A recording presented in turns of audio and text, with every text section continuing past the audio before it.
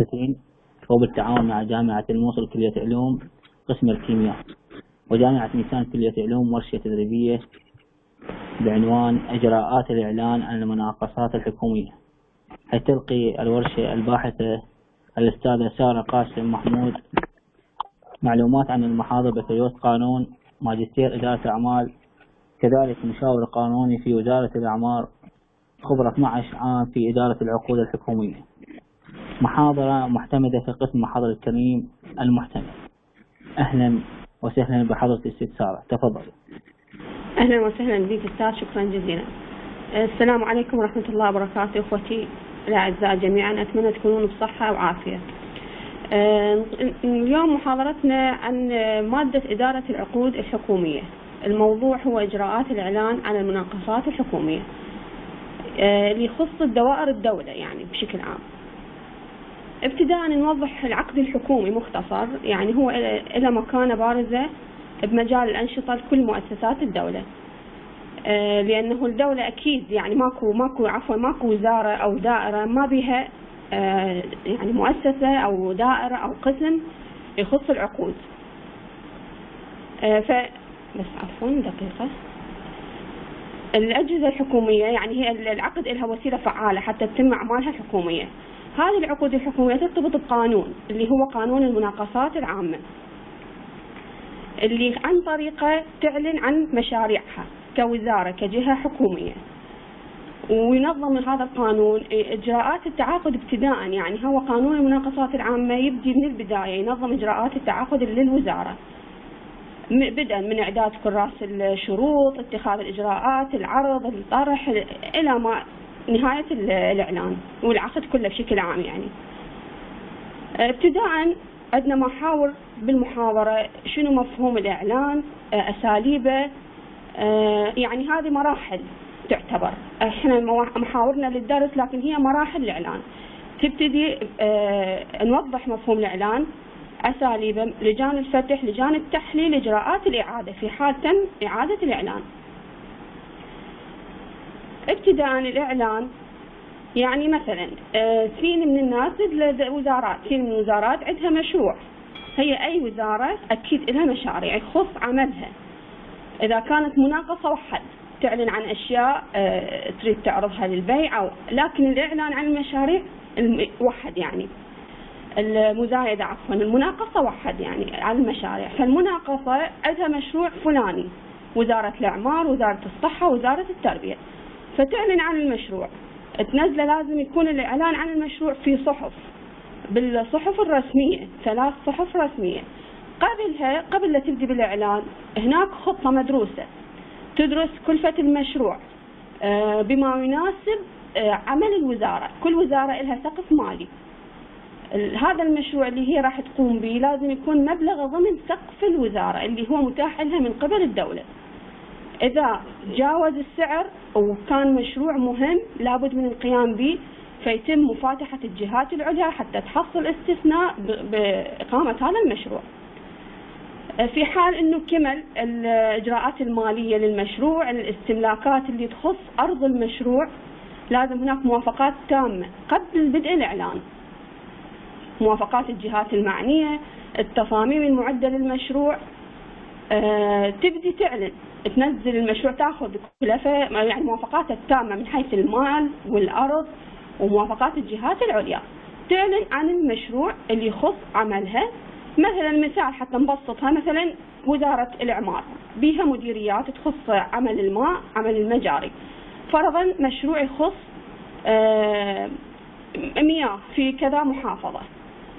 فتنزل إعلان أو مشروع مجاري. تنزل إعلان أنه هي تحتاج قيام بهذا المشروع. آه، كلفته كذا مدة المشروع كذا اسم المناقصة رقمها عنوانها وتبويبها المدرج في الموازنة موازنة الدولة بشكل عام. ووصف موجز للمشروع. أه تبين تفاصيله شنو السلع اللي هي محتاجتها لهذا المشروع. والإجراءات يعني تبين عقدها ينبني على شنو فيما بعد. حتى المتلقي المقاول راح يعرف هو شنو عقده. هذا على شنو شروط العقد راح تتم. فيبدي المقاول راح يشوف الإعلان بثلاث صحف رسمية لازم ينشر آه، وبمدة مدة الإعلان حتى يجهز المقاول عطاءه. هنا راح يبدي المقاول يقرأ الإعلان يشوف إذا هو مناسب له أو لا. يجهز عطاءه الفني والتجاري. آه، يقدم عطاءه في يعني مرحلة لما يوصل آه، يعني من تحدد الدولة مثلا خلال أسبوعين الإعلان تقول يوم الغلق كذا يوم. يعني هذا الشيء ثابت آه، يعتبر قانون يعني بالنسبة للوزارة. ما يتغير نهائيا ما دام تحدد إلا اللهم صادف أنه هنالك عطلة أو صار ظرف بالبلد يتأجل اليوم اللي بعده. ففي حال بدت اليوم الغلق يعتبر هو. انتهى هذا الإعلان خلص بدأ الغلق ونشر بالصحف وتم إجراءاته الصحيحة. اجى يوم الغلق. آه لازم المقاول راح يبدي يقدم العطاء اللي عنده بتقعد لجنة تسمى لجنة الفتح.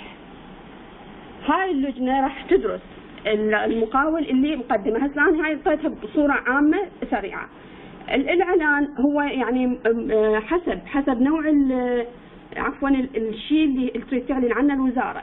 يعني هناك مناقصات آه، عدة آه، عامة محدودة مناقصة بمرحلتين. تعاقد مباشر. يعني شنو تعاقد مباشر؟ يعني أنا اليوم عندي مشروع ما يقدر يسويه كل المقاولين. أكو مقاول محدد. يعني مقاول هو مختص بهذا الشيء فأنا أدز له دعوة مباشرة إليه ما يحتاج أنه أنشر بالصحف الرسمية أنه أستدعي جميع المقاولين لا. يعني أدز له الدعوة إلى مباشر يا فلان مقاول أنا أرد آه يعني أتعاقد وياك على كذا مشروع ويتم التعاقد. أو لجان مشتريات. أو مشروع آه يعني عطاء واحد عرض وحيد يعني أنا آه الدعوة المباشرة أدزها لكم شخص؟ ثلاثة. يعني ما تزيد عن ثلاثة. العطاء الواحد لا الشخص واحد مباشر. أدز له عرضي أقول له أنا عندي فلان مشروع تقدم لي آه، عرضك حتى أنت تسوي هذا المشروع. الشراء من شركات مصنعة رصينة. إذا كانت الدولة تتعاقد ويا شركات مصنعة خارج يعني الدولة من دولة ثانية فهنا هم يتم تعاقد بصورة يعني مستثناء خلينا نقول خاص. ولجان المشتريات اللي هي تجهز الدولة بالأشياء الوزارة عفوا بالأشياء اللي تحتاجها. هم يعتبر مناقصة لكن تكون عن طريق لجنة مشتريات. فراح تبدي قلنا تاريخ الغلق. أه تبدي لجنة الفتح. هاي لجنة الفتح تكون بكل دائرة تكون مركزية. يعني ما تتغير خلال السنة. لمدة سنة أقل شيء هي مركزية ثابتة. تتكون من رئيس لجنة قد يكون مدير عام أو معاون. يعني آه، خبير أقل شيء يكون هو درجته الوظيفية ومن مهندسين وقانوني وفني وإداري اللي يعتبر هو مقرر اللجنة. فتكون ثابتة تفتح العطاءات كل ما يصير مشروع. تاريخ آه، هذه اللجنة فتح العطاءات هو نفسه تاريخ غلق الإعلان. اللجنة تنطي موعد إنه لحد الساعة 12 ظهرا من يوم كذا يكون الغلق. يبدي المقاول يقدم عطاءه خلال هاي الفترة أو يريد بنفس يوم الغلق يقدمه. ماكو إشكال لأن هي راح تكون بظرف محكم ممنوع إنه تفتح إلا بيوم الغلق. وتكون هذه اللجنة فتح العطاءات علنية أمام الحضور وأمام المقاولين كلهم أو المخول عنهم. يعني ماكو شيء يتم بالسر بهذه اللجنة. كذلك مثل الإعلان أنه هو تم بعلنية وشفافية. تبدي اللجنة تفتح العطاءات أمام الحضور وتسجل الأشياء الرئيسية. حتى هنا راح نوضح شنو فرق لجنة فتح العطاءات عن لجنة غلق العطاءات. لجنة الفتح تنطي الأشياء الرئيسية اللي مقدمها المقاول أه تختم على كل ورقة مقدمها المقاول أو توقع. بعض الدوائر تخلي ختم خاص بكل عضو.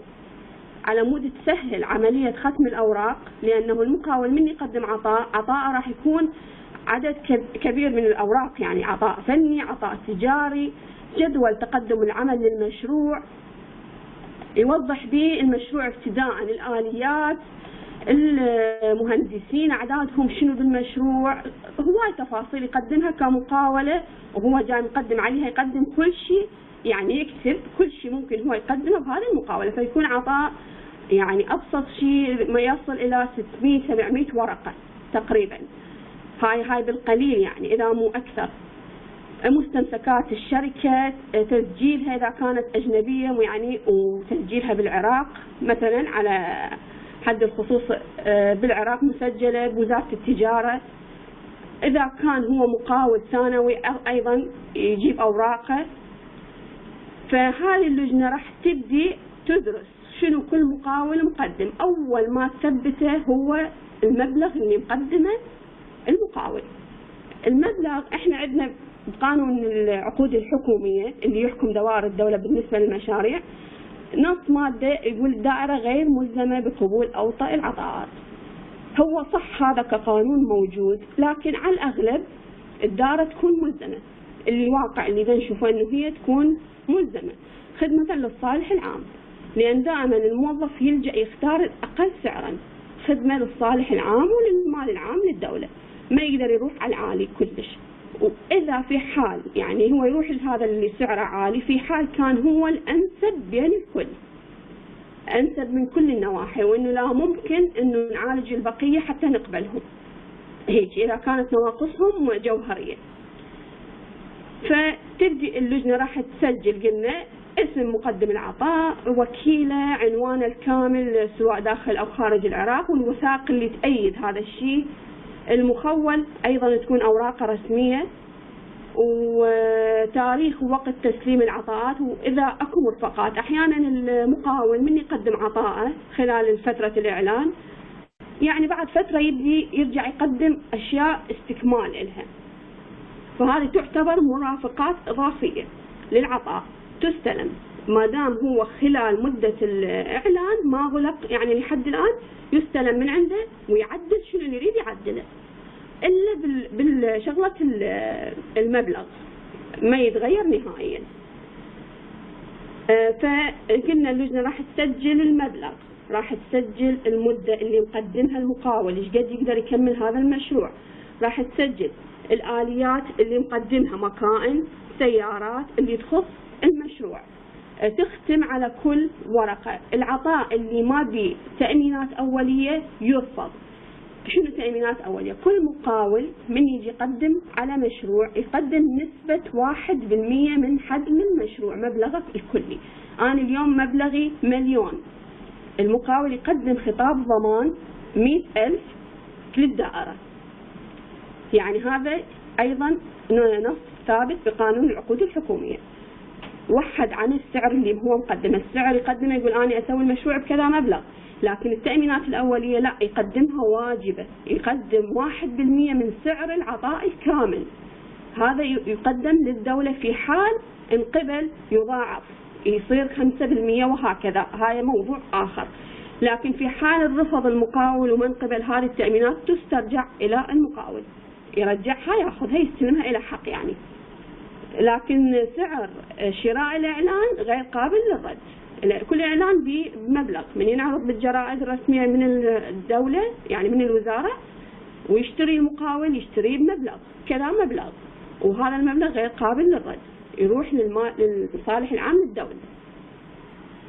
أه تسجل قلنا الآليات تسجل شنو؟ موظفي الشركة. كل موظف راح يشتغل بالمشروع أه يذكر اسمه تفاصيله مهندس كذا كذا إلى ما ذلك. آه، وكل الفقرات أكو هناك جدول كميات أيضا بالعطاء. هذا الجدول آه، يوضح كل عمل ومبلغه إيش قد. هم لجنة الشراء تثبت المعلومات الجوهرية لجنة الفتح. تخلص عملها لجنة الفتح. آه، ما قلنا مو سرية لا يكون علني. من تكمل تكتب تقرير نهائي إنه هي كذا الشركات واحد اثنين ثلاثة كذا أسعارهم كذا مواصفاتهم هذه الأوليات. فلان شركة ما قدمت كذا يعني رؤوس خلينا نقول خطوط رئيسية تقدمها. تبدي تكتب تقرير نهائي لجنة الفتح بموافقة جهة التعاقد المدير المباشر بالدائرة المعينة. هذا التقرير يسلم مباشرة من مقرر لجنة الفتح إلى اللجنة اللي بعدها وهي لجنة تحليل العطاءات. هاي اللجنة هي أساس العمل. هي اللي راح تكون التركيز يمها السرية تامة يمها. لجنة تحليل العطاءات يعني حتى تبعد الشبه والوصول يعني على مود ما يكون هنالك أكو فد ريبة بموضوع لازم تكون السرية تامة. ومهنيه تامة وتشكل أيضا هاي اللجنه هم مركزية يعني لجنه فتح العطاءات تبقى ثابتة لمدة سنة حسب الوزارة هي تغيرها أو تبقيها. آه هذه اللجنه تدرس العطاء بدقة أكثر حتى توصل وترسي على اختيار شركة من الشركات المتقدمة. وتكون برئاسة موظف آه ما يقل عنوانه عن مدير أو رئيس مهندسين من ذوي الخبرة والاختصاص. والعضوية فني آه، بما آه، فنيين قانوني مالي مقرر لجنة وأيضا راح تمارس مهامها خلال المدة اللي محددة لها بأمر التشكيل يصدر بهم أمر إداري إنه كذا لجنة عملها بهذا المشروع كذا أيام. لازم تكمل وتقدم التقرير وتختار الشركة المحال لها العمل في حال كانت مؤهلة. وهذه لجنة التحليل. آه، يعني شلون آه، يكون آه، إذا احتاجت خلال دراستها مرات العطاءات تكون حجمها جدا كبير قلنا كأوراق كأوليات كعطاء تجاري عطاء فني. تحتاج خبرات أكثر للدراسة. أكو أمور أو تجي بلغة غير اللغة اللي مثلا اكو عربي اكو انجليزي لكن اكو اشياء تجي بلغه ثانية فيستعينون بمترجم يستعينون بمهندس يكون دعم. يعني تستعين بجهة أخرى تسند عمل اللجنه أو قانوني أو القانوني راح يكون عمله يدقق المستمسكات العضو القانوني يدقق مستمسكات الشركة هوية لازم تكون لها هوية مسجلة لدى وزارة التخطيط العراقية إذا كانت الشركة عراقية. مسجل شركات من وزارة التجارة إذا كانت أجنبية إلها كتاب من دارة مسجل الشركات إلها مكتب بالعراق. في حال لم تكن يعني إلها مكتب أو ما مسجلة يوضع شرط إنه لازم الشركة تقدم آه، مسجل من مسجل الشركات اعتراف بوجودها داخل العراق. القانوني قلنا يدرس هذه المستمسكات يشوف هويته يشوف اوراقه كمستمسكات بشكل عام. يشوف الكادر اللي متقدم مستمسكاتهم أيضا. المهندس راح يدرس الأمور الفنية من أسعار إلى جدول تقدم عمل اللي مقدمه المقاول للمشروع إلى الفنيين والمهندسين اللي موجودين بالمشروع.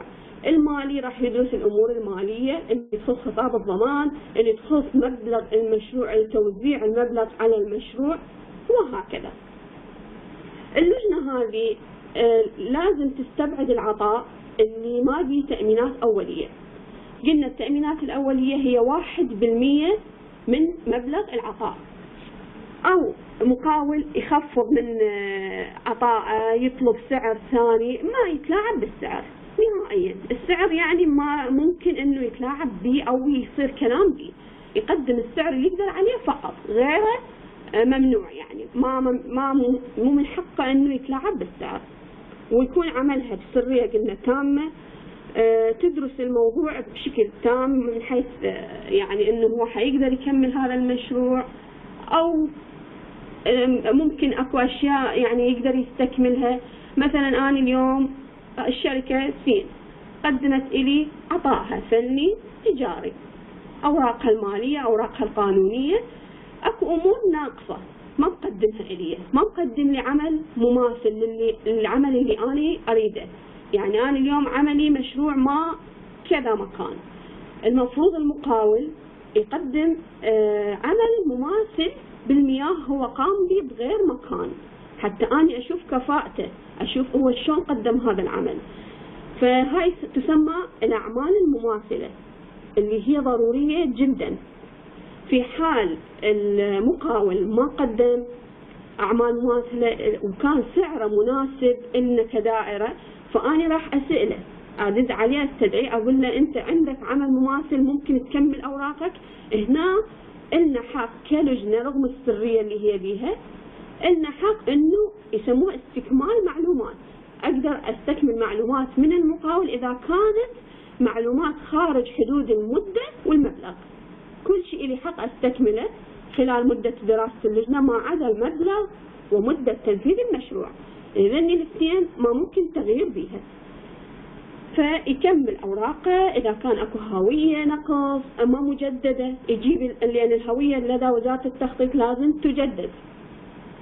آه، طبعا هذا الموضوع اللي نتحدث به كلها أمور قانونية ثابتة آه، محكمة بها الدوائر وشيء عام على الكل واللي هو موجود بتعليمات تنفيذ العقود الحكومية اللي تصدر من وزارة التخطيط لسنة 2014 واللي هي حاليا معمول بها بكل دوائر الدولة. قلنا استكمال المعلومات يكملها اللي يقدر يكمله إذا كان موجود عنده إذا كان عمل بعد ما تم بغير وزارة مماثل ولكن بعد ما كمل. وأنا إذا أطلب منه عمل مماثل فانتظره يجيب لي. انطيه مدة محددة انه هو يجيب لي العمل. يصدره من الجهه الثانية يصدر لي كتاب يجيب لي إياه حتى أني راح أشوف إنه هو مؤهل. هذه كلها تسمى استكمال معلومات. حتى أني أرشح العطاء اللي يكون سعره مناسب إلي كدائرة مناسب للسقف المالي اللي عندي. أنا أوكي عندي مقاول جيد جيد جدا لكن سعره عالي. أنا السعر العالي يدخلني بإشكالات. إذا كان سعره صح ضمن الكلفة التخمينية مثلا أنا كلفتي خمس مليارات. إجاني مقاول أربعة ونص مليار. يقدر يسوي المشروع. إجاني مقاول ثلاث مليارات. إجاني مقاول اثنين مليار. أنا كدائرة المفروض أختار السعر المناسب إلي. حتى يعني المفروض المفروض هو الأغلب يروحون على أوطى العطاءات ودائما أوطى العطاءات هو اللي يرشح. إلا إذا كان مثل ما قلنا أكو خلل بأوراقه ما مسجل عمله نهائيا ما عنده أي عمل يشجعني أنا كوزارة أنه أقبله أنا إلي حق برفضه. ولازم من أرفضه كسعر هو قليل لأن هو هنا الموظف يكون مسائل أمام هاي النقطة إذا أختار مقاول سعره آه عالي راح يكون مسائل يعرض نفسه للخطر. ففي حال رفض المقاول اللي سعره قليل لازم تكون حشتة قوية برفض المقاول. لأنه وراها راح تجي آه لجان رقابة لجان تفتيش تستدعي اللجنة وتريد مبرر لقبولهم للمقاول الأعلى. وهنا راح تدخلهم بإشكالات هم في غنى عنها. وأكيد الموظف حاليا اللي هو بدوار الدولة راح يفهم هذا كلامي. فهو الأفضل الأفضل إنه يروحون للاوطى العطاءات ويكملون أوراقه على وجه الكمال لكن قلنا ما يلعب بالسعر ولا بالمدة. أما إذا كان جدا ما مناسب وما بي أي أمل إنه هو ممكن أني أكمل أوراقه فإلي حق أصعد على الوراء اللي هو 3 مليارات وأكمل أوراقه. وأيضا إذا كان إلي ما لقيت أي شيء ممكن إنه يكمل ويفيدني هذا بنجاح مشروعي كان علي سحب عمل من جهة ثانية مثلا مدرج مسبقا في قائمة سوداء. عندنا إحنا بوزارة التخطيط آه، القائمة السوداء. هاي القائمة تدرج كل مقاول يخل بالتزاماته التعاقدية مع الدولة مع دوائر الدولة. مثلا يتأخر بتنفيذه يتأخر باستلام المشروع آه، تنذر الدائرة. تسوي له إنذار إنه يا مقاول أنت المفروض تقوم بكذا تكمل كذا. في حال لم يستجب للإنذار فيتم آه، إدراجه بالقائمة السوداء. هذه القائمة يعني تشوه سمعته كمقاول. يعني في سوق الأعمال تشوه سمعته تقلل من قيمته. فالمقاول الناجح المفروض يحافظ على نفسه ما يدخل بهاي القائمة نهائيا. لأنه ما دام دخل بها راح تظل عليه خط. أحمر عند التعامل مع الدوائر أنا اليوم صاحب مشروع. من أجي أقبل مقاول لازم أقبل مقاول ذو سمعة طيبة وسمعة عالية ونجاح وإنجاز. فالمقاول الناجح لازم يحافظ أنه ما يدرج بهذه القائمة نهائيا. لأنه حتى لو أدرج وطلع منها لمدة سنتين هي بها مدة بها ست أشهر بها سنة بها سنتين أقصى شيء. يعني مدة إدراجه. حسب اللجنة اللي تشكل. هي تختار المدة حسب ذنب المقاول اللي أو خطأ اللي هو قام به. فأنا أضيفه لمدة ست أشهر لمدة سنة لمدة سنتين وبعدين يطلع من عندها. لكن هي بكل الأحوال حتى لو طلع منها شيء مو حلو كسمعة إله فهذه أيضا اللجنة تدرس هذا الموضوع. إذا كان مدرج وأسباب الإدراج إذا كان آه، عليه فد شائبة هاي تأثر عليه جدا يعني تأثر عليه حتى لو قدم يبقى عليه شابه إنه هذا راح يعاني منه بالشغل ما راح يقدم لي الشغل اللي أريده. آه اللجنة قلنا تكمل عملها دونت سوت صحة صدور للأوراق للخطاب الضمان يسويها العضو المالي يروح يسوي صحة صدور الخطاب الضمان كعضو هو باللجنة القانوني يسوي صحة صدور للمستمسكات القانونية للشركة كدارة مسجل شركات قلنا كهوية مقاولين يسوي لها صحة صدور يتأكدون من جوهر هاي المعلومات اللي مقدمها. بعدها اللجنة راح توصل القرار وتختار الشركة الأنسب اللي تحس إن هي هذه الشركة مناسبة إلها. آه، ترفع تقرير تقدمه للجهة العليا اللي هي مديرها بالدائرة تذكر التفاصيل الموجودة طبعا التقرير ما راح يكون تقرير أولي لا. هناك تقارير عدة لأن الاختيار يكون دقيق وصعب. ترفع تقريرها تذكر تفاصيل كل شركة. هاي اللجنة ترفع تقريرها لرئيس جهة التعاقد. تذكر تفاصيل. الشركة الأولى كذا الشركة الثانية كذا قدمت الشركة الثالثة كذا قدمت تذكرها. راح رئيس جهة التعاقد يقرأ ويذكر يشوف شنو الأشياء المذكورة باللجنة بتقرير اللجنة الناقصة اللي استدعى استكمالها راح تقول له فلان شركة قدمت كذا ولازم نكمل كذا. فلان ش...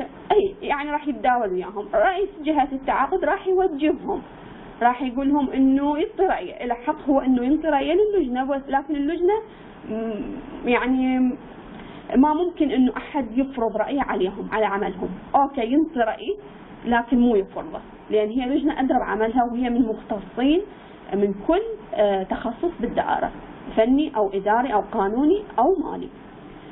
آه، يدي النوب تقرير آخر. يصفون. يعني أول شيء يذكر تفاصيل كاملة بالتقرير الأول. التقرير الثاني تفاصيل تتقلص. راح يكون اختيار أقل. على فد الأول كان ذكرهم خمستهم خلينا نقول خمس مقاول. التقرير الثاني إنه أنا صعدت ثلاثة دول اللي مرشحين الثلاثه الأوائل خلينا نقول حاليا اللي قدامي اللي ممكن أختار من عندهم. التقرير الثالث إنه أنا وصلت إلى اثنين. آه، هم أشوفهم أنسب الكل لكن هذا عنده نقص كذا وهذا عنده نقص كذا. فأرفعت رئيس جهة التعاقد إنه أني خلاص وصلت القرار أو أما هذا لكن عندي نقص كذا ونقص كذا. أيضا راح تصير مداولات ترجع اللجنة تنطي تقريرها النهائي في حال كملت الأوليات أو ما كملتها. ترفع رئيس جهة التعاقد إنه هي رشحت الشركة الفلانية. آه، لأنه سعرها مناسب مدة تنفيذها مناسبة جدول تقدم العمل اللي عندها مناسب الشغلي آه، كفاءاتها الآليات الفنيين كلها مناسبة وراح تخدمني بإنجاز المشروع لأن المشروع أنا عندي مدة محددة به عندي دولة تسألني عليه فيما بعد عندي كلفة راح تصرف من الدولة إليه فأنا ما أقدر أخلي المشروع بيد أحد مو أهل إنه يكمله. فأني أكون حذر باختياري لأن ورايا رقابة ورايا تفتيش ورايا هواي ناس راح تسألني على اختياري لهاي الشركة. فأنا اليوم كجهة تعاقد لازم أختار الشركة المناسبة لإنجاز هذا المشروع. رفع التقرير ويكون أيضا تقرير سري إلى أن يوصل إلى رئيس جهة التعاقد. تقول إنه أنا رشحت الشركة الفلانية وهي مناسبة إذا كان سعرها قليل كذا أوراقها إذا كان سعرها عالي كذا تفاصيلها وإنه أني يعني كان لي حق باختيار السعر العالي. آه، يوافق رئيس جهة التعاقد يرفعها للجهة الأعلى اللي هي قد تكون دائرة حسب ترتيب كل وزارة أو كل جهة يعني آه، إذا كانت دائرة عقود إذا كان للوزير مباشرة حتى يوافق على قرار اللجنة هنا راح يكون موافقة على هذه الشركة باختيارها بقية الشركات تراد لهم التأمينات الأولية اللي قدموها قلنا يقدم نسبة 1% من خطاب الضمان 1% آه، عفوا من سعر المشروع كله. فترجع لهم لكن مبلغ شراء المناقصة غير قابل للرد. آه خلاص انتهى الاختيار. اختارينا شركة آه أبلغنا الشركة بالترسية عليها. يصير إعلان للكل أنه تم اختيار الشركة الفلانية للقيام بالمشروع الفلاني. انتهى الموضوع خلص عمل لجنة الفتح لجنة التحليل عفوا وتم الترسية على هذه الشركة. يصير بها آه توجيه للكل إبلاغ المناقصين جميعا. منو اللي اختارناه منكم؟ يكون علني هنا الموضوع آه، يكون هناك تبليغ للشركة بإحالة المشروع لها. الشركة راح تبدي إنه خلال 14 يوم يا شركة جيبي كافة أوراقك وتعالي حتى نتعاقد وياك وتباشرين باستلامك المشروع. وتبدي هنا مرحلة بدء العقد الحكومي. هذا كل اللي حكيناه هو شلون نعلن عن المشروع اللي وصلنا للتعاقد. فهنا راح تبدي مرحلة التعاقد مع هذه الشركة. في حال أني آه فشل عندي الإعلان. هسه إحنا كملنا إنه اعلنا عن المشروع مرينا بمراحل لجنة فتح العطاءات ولجنة تحليل العطاءات والترسية على الشركة الفلانية. سلمناها العمل تعاقدنا وياها بدأت عندنا إجراءات أخرى اللي هي العقد وشلون يتم العقد مع الشركة ومراحل تنفيذ المشروع. في حال هذا كله ما صار وصار هناك إعادة للإعلان بسبب ظرف بالبلد يعني أي سبب كان يعني يمر به البلد أو الإعلان ما اكتمل نصابه القانوني أو كان هناك السعر جدا عالي اعترضت عليه جهة معينة. فبإعادة الإعلان لازم يتم هناك استحصال موافقة من جهة عليا. يعني ما يكون يعني شيء سهل خلينا نقول وروتين عادي لا. لازم به موافقة من الوزير المختص. بإعادة الإعلان. ويبلغ يبلغ عفوا الجهات المعنية جميعا اللي تخص يعني عملها مع الوزارة الجهات العليا جهات مثلا دائرة العقود بكل وزارة المناقصين اللي قدموا على الإعلان الأول. أيضا يبلغون بإعادة الإعلان. ومن من أجي أعيد الإعلان أنا راح أنطيه نفس التسلسل اللي نزل بالتبويب.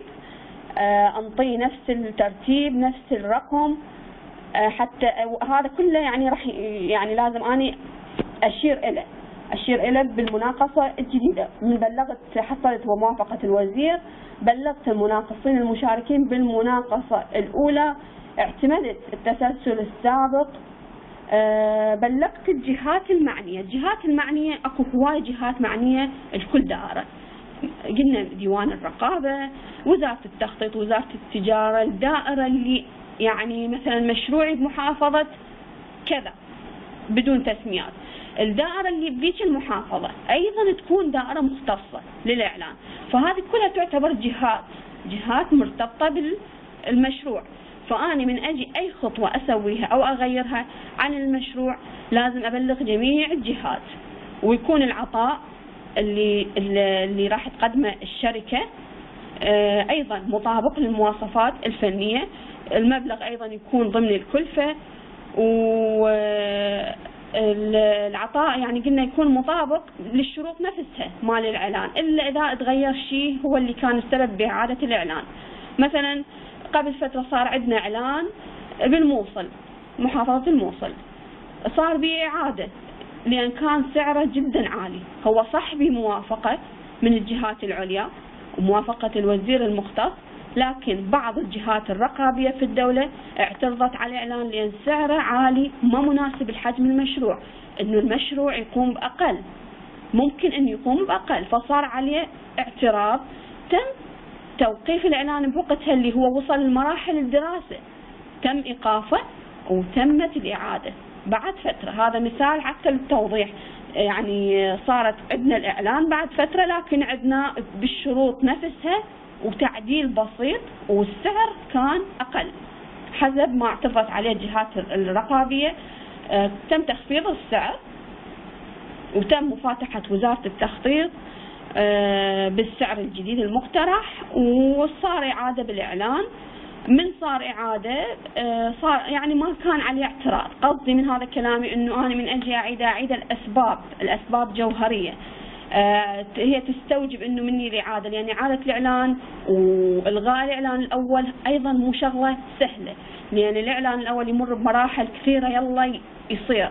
من أجي اعيده اني هم شغلة مو سهلة علي فأنا لازم أكون أتوخذ الدقة والحذر بكل خطواتي. كدائره اني اليوم لازم تكون خطواتي صحيحة ومدروسة من ناحية المبلغ من ناحية المدة من ناحية استملاك أرضية المشروع. هذه كلها مراحل تمر بها الدائرة قبل لا تبدي الإعلان. لأن كل مشروع يقوم على أرض. هذه الأرض لازم فيها استملاك للجهة اللي راح تتبنى المشروع. هذه كلها إجراءات طويلة يعني ما تصير بيوم وليلة حتى أوصل لها وأعلن. فأنا من أجي أعلن لازم أتوخك الدقة والأشياء الصحيحة اللي أختارها حتى ما أتعرض المساءلة فيما بعد لأنه الدولة وأي أي دائرة حكومية لابد وأن تتعرض للمساءلة على أبسط الأشياء إيش قد أشياء إحنا نشوفها عفوا تافهة وصغيرة وما تسوى الموظف الحكومي يساءل عليها فلذلك لازم يكون حذر باختياراته.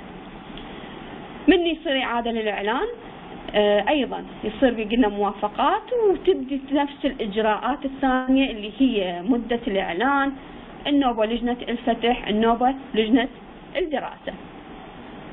أه عفوا أكو سؤال؟ إذا أحد عنده سؤال عنده مداخلة؟ أستاذ أحمد وياي؟ نعم كنت وياي. إذا أحد عنده مداخلة ما أعرف من الاساتذه الحضور لأن أنا استمريت يعني بدون توقف. إن شاء الله اللي عنده أي سؤال يقدر يرفع علامة الهاند تمام. ويتم المداخله إن شاء الله. تمام. هنا عندنا أسئلة وأجوبة. أنا راح اطرحها اذا أحد يحب يتداخل؟ فاهلا وسهلا إذا هذه أنا حجاوب عليها. أكو سؤال يعني من الشات. أكو سؤال نعم. إذا سمحتي لي من الشات يقول نعم. آه ما هي لجنة الإغلاق؟ هي لجنة مو إغلاق هي لجنة الفتح عفوا. لجنة فتح العطاءات هي نفسها بيوم غلق الإعلان غلق مدة الإعلان. أنا اليوم عندي إعلان ينتهي يوم آه واحد ثمانية. بهذا اليوم راح يكون هو يوم الغلق. بنفسه تقعد لجنة فتح العطاء. يوم الغلق وليس لجنة الغلق. يوم غلق الإعلان انتهى. بعد أنا ما أستلم بعد الساعة 12 ظهرا ما أستلم أي عطاء. هنا يسموه غلق الإعلان. تبدي فتح العطاءات. نفس اليوم اللي توعد به لجنة الفتح واضح أستاذ؟ آه هنا عندنا مثلا سؤال. هل تتعاقد المنظمة الحكومية مع الأفراد والمؤسسات والشركات الخاصة وتبرم معهم عقود تجارية أو مدنية تتفق مع نشاط المنظمة؟ آه، إحنا اليوم قلنا إذا محتاجة أني مثلا أجهزة معينة للدائرة مثلا أجهزة استنساخ يعني أنا ما م... يعني أكو أكو شركات أكو مكاتب رصينة جه... يعني تول... توفر لي هذه الأجهزة. أنا مو إلا أنشر إعلان حتى آخذ هذه الأجهزة اللي أريدها. أو أشياء آه، مثلا مثلا أشياء تدخل تفاصيل المشروع. انابيب من نوعية كذا باعتبار أنا اليوم مشروع ماء أو مشروع مجاري أو للمثال يعني أو جسور. أكو أمور آه، مواد من من آه، يعني من جهات رصينة أني واثقة منها ومتعاقدة وياها مسبقا. قد قد تكون شركات خاصة أو مؤسسات خاصة. فأني إذا عادي كدولة اليوم أنا أقدر أتعاقد وياهم بصورة مباشرة. وأحيانا يكون هنالك تعاقد حكومي مع حكومي. شلون؟ يعني أنا اليوم كوزارة أقدر عندنا شركات إحنا شركات حكومية. آه، مثلا على سبيل المثال وزارة الإعمار بها شركة حمورابي شركة المعتصم هذه كلها شركات ضمن الوزارة. أيضا تقوم بالمشاريع. هي شركة حكومية مؤسسة كاملة حكومية.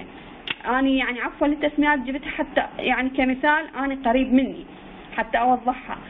فهذه الشركات تعتبر جهة حكومية. لكن هذه من تدخل بالعطاء بالعطاءات المقدمة. تسبب إشكالية.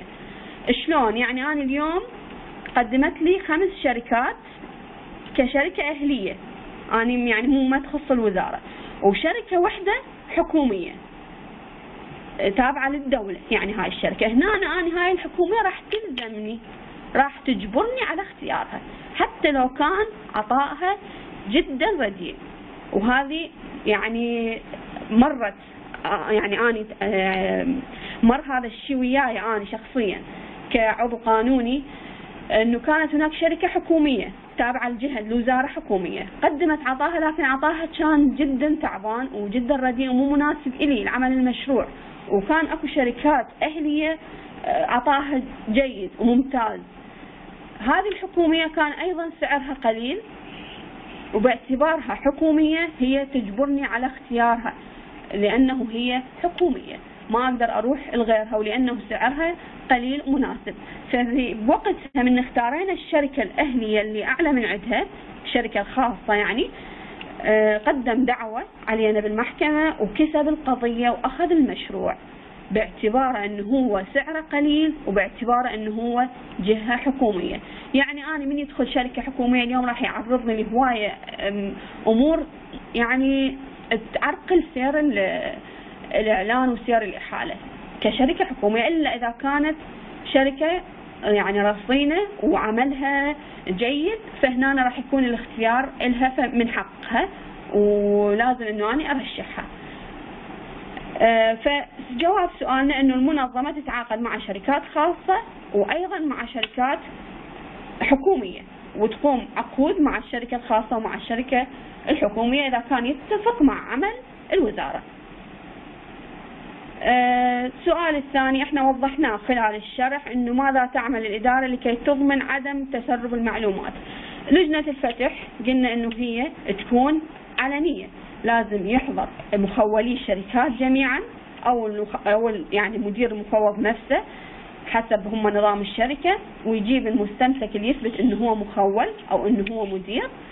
آه، اللجنة كلها تقعد بغرفة يعني مغلقة تكون خاصة بعمل لجان الفتح ومقرر اللجنة والظرف المغلق. هذا الظرف المغلق هو اللي توضع به العطاءات من بدءا من إعلان المشروع إلى غلق عفوا من بدءا من إعلان المشروع إلى موعد غلقه. يعني أكو صندوق توضع به العطاءات ويكون مغلق وبسرية تامة.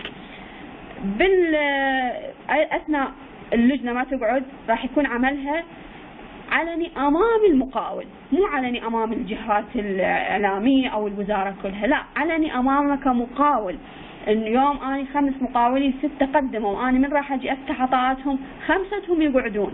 هذا واجب ونص قانوني. لازم قدامهم يشوفون هم تسلسلهم وين سعرهم إيش قد سعر غيرهم إيش قد هم أعلى هم أقل. هذا من حقهم يشوفونه وياخذون فكرة أولية.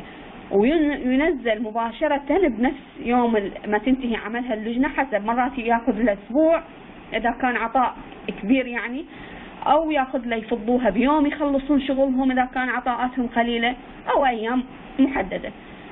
آه، فيخلون جدول ينزل بلوحة الإعلانات لما يخلصون شغلهم الشركة واحد اثنين ثلاثة كل شركة مبلغها مدتها تفاصيلها اللي ذكرناها بصورة يعني رؤوس أقلام خلينا نقول إنه قدمت 20 مهندس قدمت كذا آليات.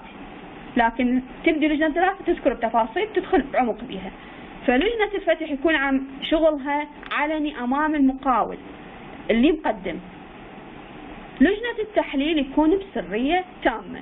لازم الإدارة تعمل على أنه تخلي لجنة الدراسة والتحليل بسرية تامة بغرفة ما حد يعني ما تطلع المعلومات نهائيا وأي معلومة تسرب تعاقب اللجنة وتعرض نفسها للمساءلة. فقط الوزير المختص أو المدير المختص له حق بالاطلاع على المعلومات كجهة عليا. لكن الجهات الأخرى حتى لو كانت عليا مثلا دائرة عقود دائرة رقابة بنفس الوزارة ما لها حق يعني تطلع على المعلومات خلال عمل لجنة الدراسة نهائيا. اللجنة تشتغل شغلها وحدها بمغلق لحد ما توصل القرار وما تطلع معلومات لأنه أي معلومة يساءل أعضاء اللجنة فردا فردا. فاللجنة تكون حذرة بتوجيه من رئيس اللجنة بعدم خروج أي معلومات وعدم حتى لا حد يأثر على شغلهم. والمقاول نهائيا ما مسموح له يعرف بتفاصيل لجنة الدراسة والتحليل. آه، عضوية هذه اللجان تتكون من رئيس جهة التعاقد اللي هو يكون بدرجة خبير. ودائما يكون مهندس رئيس الجهة باعتبارها دائرة مثلا حسب الدائرة بس هي الأغلب الأعمال تكون فنية فالأغلب يكون الرئيس الدائرة مه... آه، جهة عفوا اللجنة رئيس اللجنة مهندس فني لأن الشغل العام هو شغل فني فيكون من رئيس اللجنة اللي هو درجة خبير ومن قانوني ومهندس ومالي ومقرر اللجنة وعضو آخر إذا تحتاج اللجنة تضيفه يعني هي أقصى شيء خمس أعضاء. رئيس اللجنة قانوني مهندس مالي وإداري اللي هو يعتبر مقرر اللجنة واللي يكتب المعلومات اللي يمليها القانوني أو اللي يمليها المهندس أو اللي يمليها رئيس اللجنة. واحيانا يعني ما يحتاجون للمقرر الاداري عفوا المقرر القانوني نفسه هو اللي يملي معلومات وإذا احتاجوا دعم أو إسناد من أشخاص آخرين لكثرة الأوراق فيستعينون بطلب بطلب يعني تحريري إنه نريد مهندس نريد قانوني حتى يساعدنا باكمال إجراءات الدراسة. هل يسمح الجمع بين عضوية رئاسة اللجنتين؟ لا طبعا. لجنة الفتح وحد عن لجنة الدراسة. كل لجنة عملها على حدة وتكون مركزية ثابتة لمدة سنة أقصى شيء. يلا تتغير. وكل رئيس لجنة وأعضائهم ما ممكن أنه يدرسون. يعني أنا اليوم عندي إعلان سين. أنا لجنة فتح. ما ممكن أصير بأني لجنة الدراسة لهذا الإعلان.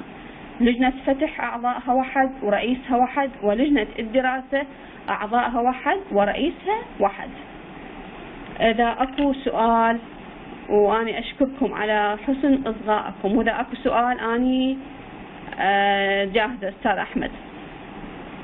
نعم شكرا حضرتك على هذه المعلومات اللي أشكرك أستاذ جزيلا. الله يحفظك والراعة نفس الوقت. الله يسلمك أستاذ تسلم لي.